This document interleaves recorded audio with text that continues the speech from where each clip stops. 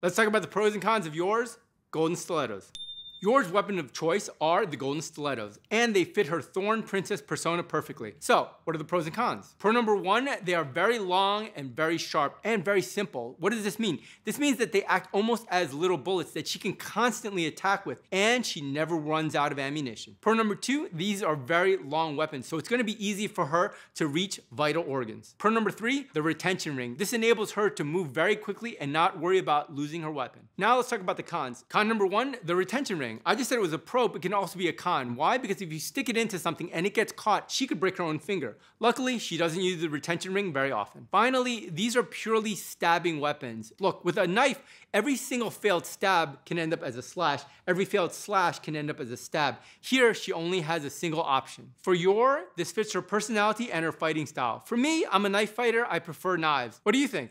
Let us know in the comments.